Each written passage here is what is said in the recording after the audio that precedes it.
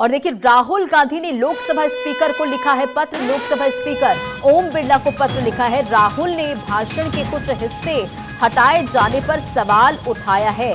तो राहुल गांधी की ने जिस तरह से हिंदुओं को लेकर टिप्पणी की, उसके बाद भाषण के कुछ हिस्से हटा दिए गए। राहुल गांधी ने इस पर स्टेटमेंट भी दिया कि सच को छुपाया नहीं जा सकता है। और फ़िलहाल देखिए, भाषण के कुछ हिस्से हटाए जाने पर सवाल उठाए गए हैं राहुल गांधी की तरफ़ से और इससे लेकर राहुल गांधी ने लोकसभा स्पीकर को एक लेटर लिखा है। लोकसभा स्पीकर ओम बिरला को लिखा पत्र और राहुल ने भाषण के कुछ हिस्से हटाए जाने पर सवाल उठाए हैं। देखिए, राहुल ने जिस तरह से इस पूरे मामले को लेकर टिप्पणी की, कई ऐसे मुद्दे उठे, लेकिन हिंदुओं को लेकर, हिंदू को लेकर जिस तरह से टिप्पणी की गई, उसके बाद से लगातार बार पलटवार का दौर जारी है।